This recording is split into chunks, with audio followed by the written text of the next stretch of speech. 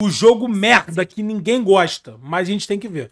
Bolonha e Spezia. Há quanto tempo que você não vê esse gorrinho aqui?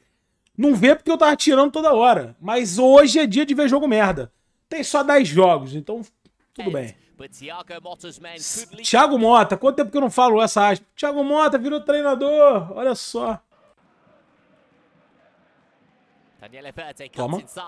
Toma, cadê? Rabiscou. Toma. Ui.